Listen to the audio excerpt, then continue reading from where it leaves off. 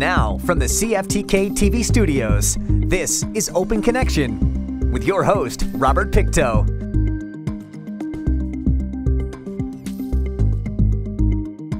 Welcome to Open Connection. Your host, Robert Pictou. Our show today comes to you from the traditional and unceded territory of the Tsimshian people. Indigenous women, families, and advocates are calling for swift action in introducing a red dress alert system an initiative to shed light on and take action against the ongoing violence against Indigenous women, girls, and two spirited people.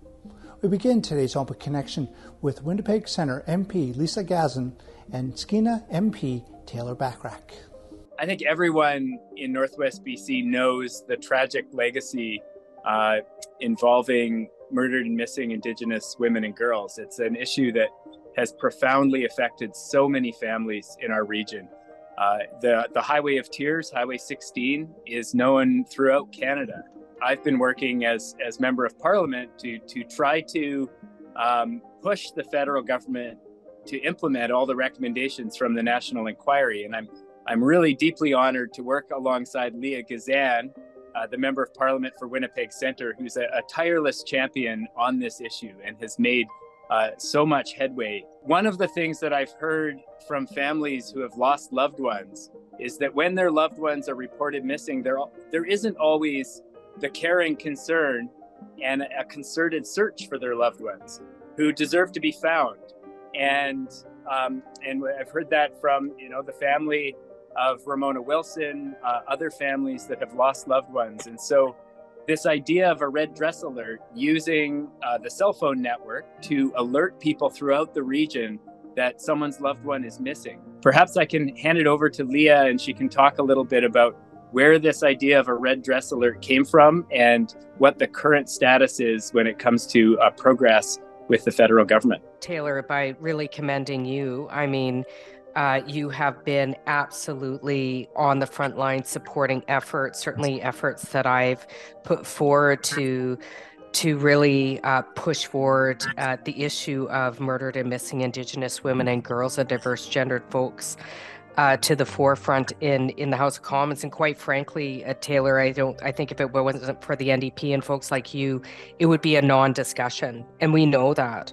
Uh, the only people that are bringing up this discussion in the House right now, in fact, are the New Democrats in the House of Commons, the elected New Democrats. And I have to say that I've been really touched as somebody who has fought uh, along advocates about this issue for for many many years uh, that I've been really touched by the support of, of colleagues like yourself to to really you know uh, advance this issue forward. And the red dress alert uh, came about actually a couple of years ago. Taylor, I was. Uh, you know, sitting around and I did a tweet. I was like, you know, I was just so tired of hearing about you know, women going missing and murdering. We know from the National Inquiry into Murdered and Missing uh, Indigenous Women and Girls that, you know, we go missing all the time and nobody looks for us. I mean, this was something that was stated in the National Inquiry that the police response and in response to this issue was inadequate. And so I did a tweet about a red dress alert ended up getting an interview, but this is something that is being pushed forward, not by me, but by family and advocates. And my job, and certainly what we've tried to do, I know alongside folks like you, Taylor, uh, in the NDP, is just lift up the voices of you know, families and survivors of violence and advocates to say, should we go missing, we must be found. Because we know with alert systems, like for example, the child, uh, the child alert, the Amber Alert for children, that 90% of children that are placed on the Amber Amber Alert are actually found. And I think, you know, having something like that, particularly where we see this as kind of an ongoing genocide, and I would argue a normalized genocide in Canada, um, that uh, we, should we go missing, we must be found because we're precious. You know, we're sisters, we're mothers, we're aunties, we're grandmothers. You know, there's a legacy of loss that happens anytime an Indigenous woman, girl, or two spirit person you know, um, loses their life to violence, or when families don't have closure and they lose loved ones. We need to change that. And so, you know, I'm going to continue to work with advocates with the support of our party to push forward until we do get this red dress alert in place. It was mentioned in the budget. Uh, for me, it's only as good as going across the finish line. Uh, you know that takes tireless advocacy. You know the the best uh, broken promise is a liberal broken promise. We've we've seen lots of them. Uh, certainly, I know that we're working together to make sure that that doesn't happen in that instance. And and uh, you know, thank you, uh, Taylor, for all your support and just encouragement. It's a painful fight, and you know, having colleagues such as you that are committed to ending gender-based violence for all women and girls and, and diverse gender folks but particularly i know when you're riding where you know it predominantly uh, impacts indigenous women and girls and two-spirit means a lot open connection will be right back after these messages And now, from the CFTK TV studios, this is Open Connection with your host, Robert Pictou. Thanks for staying with us. Often compared to Amber Alerts for missing children, the proposed Red Dress Alert system would send emergency notifications to the public when an Indigenous woman, girl, or two spirited person goes missing. Let us return to the conversation with MP Leah Gazan's Red Dress Day Take Note debate speech. Almost every week, we learn about a new and heartbreaking stories of sisters who have gone missing or who have been murdered. And we cannot let this be normalized. It is not normal because, Madam Speaker, these are a result of vile human rights violations, something that the current Prime Minister likened to an ongoing genocide.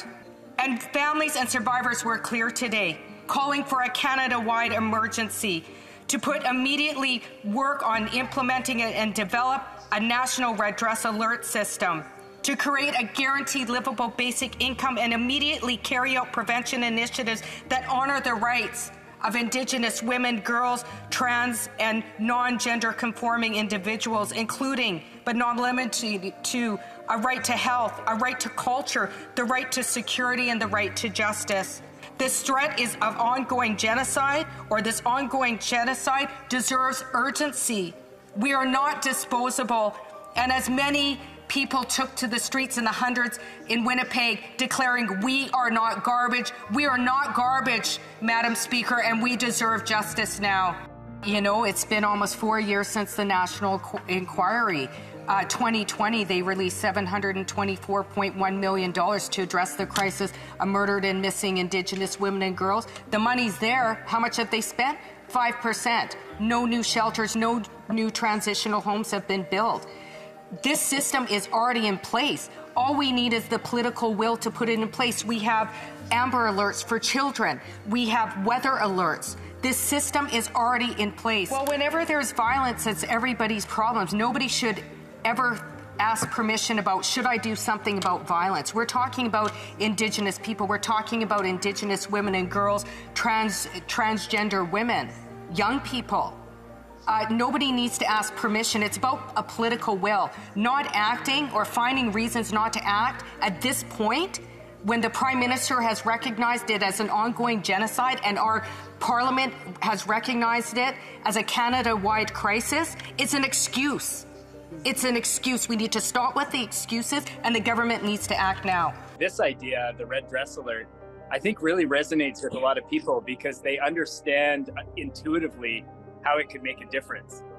That when um, our community members, when people's loved ones are reported missing, we need as many people out there searching for them as quickly as possible. Time is of the essence.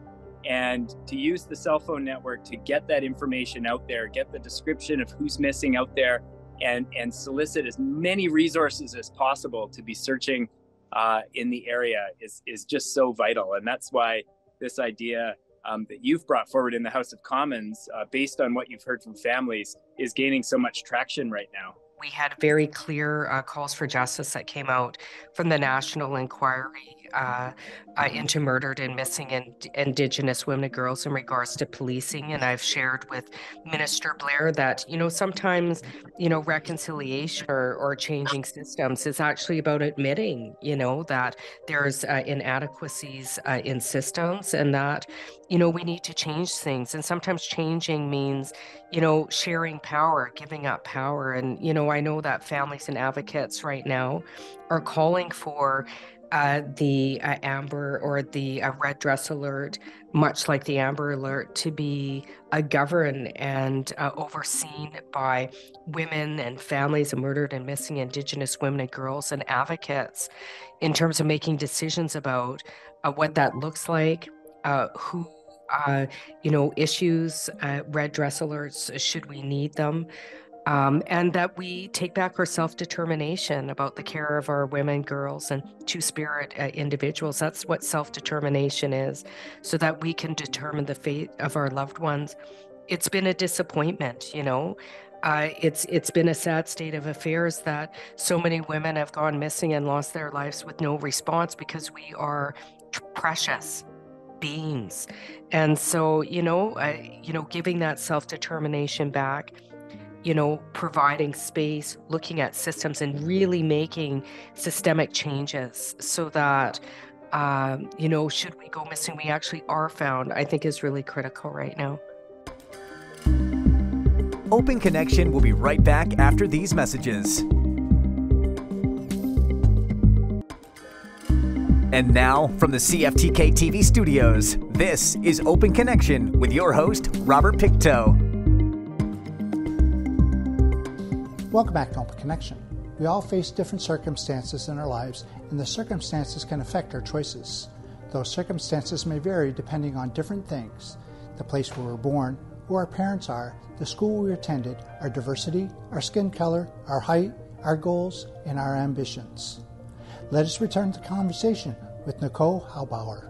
There's a bias that the women that are going missing are asking for it because of their lifestyle. Um, usually there's substance or there's a perception that there's substance abuse or misuse involved or dysfunctional home life or and that stereotype is very harmful because in my case my incident was I didn't have enough money to take a bus to UNBC to pay the $100 registration fee so I could go to university.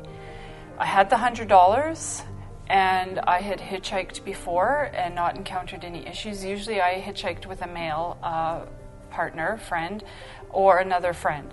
Um, I got into a vehicle um, just outside Kitwanga uh, and I was so desperate to go to university. I ignored my what we call now spidey senses or my intuition and I got in the car and just before Hazelton, I asked the man to let me out of the car. And he was like, No, I'll stop at the next gas station. There's no place. And, and I was like, At this point, I knew if I made it through Hazelton, the town of Hazelton, I was not getting out of that car alive. Um, and so I went to open the door and realized that the handle on the door was broken. Uh, there was no way to get out of the vehicle. And um, I then knew I was in trouble. So on the Terrace side of Hazelton, um, I basically had to fight for my life. Um, and he finally pulled over, and I got out of the vehicle, and I, I hid in the ditch until he took off. And it was uh, quite a traumatizing experience. So then I was at the top of the hill there, and I went into Hazelton, and I stopped at the first gas station, and they were. I was dirty. I was bruised I was bleeding, I was scratched, and I was covered in, um, well, I had been in the ditch. They didn't want to help me, so I just kept walking. And then I got to Robber's Roost, and the nice gentleman behind the counter, he's like, I'm like, I need help. I don't know what happened. I need to phone for somebody to come and get me.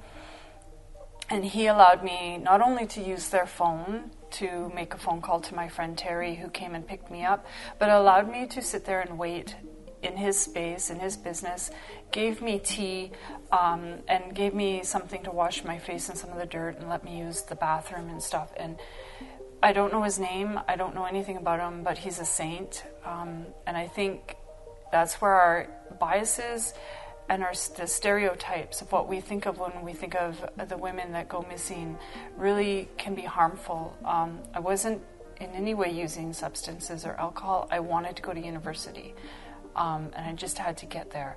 And for those of you that are, well, why didn't you just e-transfer? This was in the 90s. there was no e-transfer. There was no, like, barely even. In, we didn't even really have internet at that point. So um, so yeah, that's how I. That was my own personal experience, um, and I had a lot of things in that situation that helped me. Like my dad had taught us how to defend ourselves and how to take care of ourselves in those situations, and I had a lot of cousins that you know we we did all the things with, and we wrestled and and fought and stuff. So we I, I could get myself out of that situation. A lot of women can't. Um, and we live in a vulnerable region geographically because predators know that the resources are not here to go look for us when we go missing. They know that they have a three day head start to leave the region before anyone's even looking for those of us or those that go missing. And they also know that the RCMP don't have the resources here to look. There's the dog, um, the canine unit doesn't come out here um, in enough time to look. Search and rescue um, has to wait until certain protocols are met before they can go look. And so, although we've raised awareness about murdered and missing Indigenous women, girls, and Two Spirit, we haven't really changed the system. And for me, what I learned um, at Coastmount when I went to Coast Coastmount College and took my criminology um, courses is that it's not the individuals who are at fault within our system. It's that the system is not meant to support or help individuals. The system is just a machine, and if you don't fit within it a certain criteria, they don't really have the tools to help. And that goes for many systems, not not just one. But um, and predators know that we're in a vulnerable region and that it's uh, across the country, across the north. If you look at the number of transition houses we have, the uh, supports for those suffering from domestic violence, um, the number of RCMP officers that and, and RCMP protocols that allow for searches to happen when women go missing, those are all systemic problems that we as a country don't address. Um, and that's why this red dress alert is so important because it's a systemic approach. It's not rooted in dealing with an individual's personal situation. It's a systemic approach across the country. And um, I think it's like, for me, it's like finally, finally, somebody is doing something about the system, not about the individual situations. Open Connection will be right back after these messages. And now, from the CFTK TV studios, this is Open Connection with your host, Robert Pictou.